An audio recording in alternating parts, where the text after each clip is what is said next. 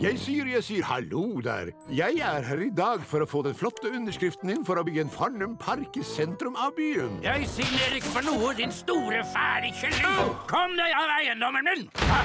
Rassa, rassa, rassa. Hei, dere! Det er meg, Bartillon, på besøk. Ha det, tog, og tusen takk skal du ha for at du fikk meg trygt hit.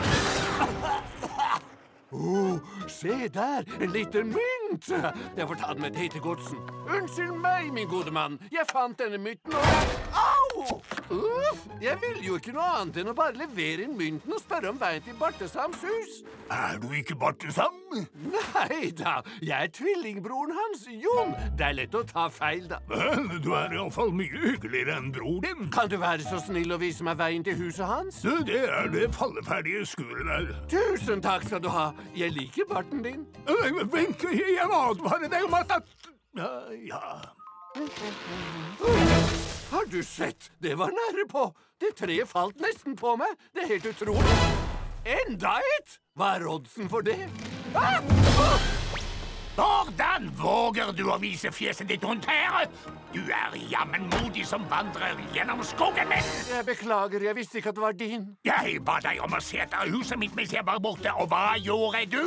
Du spyttet huset mitt om til denne bitte lille seljefløyta.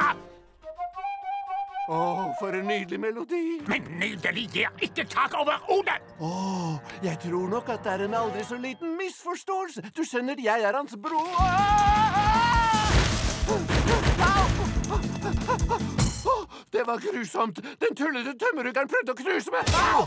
Se hvem som er her. Fyren som tok nøtteloffen min. Jeg tror at du tror La meg bli ferdig.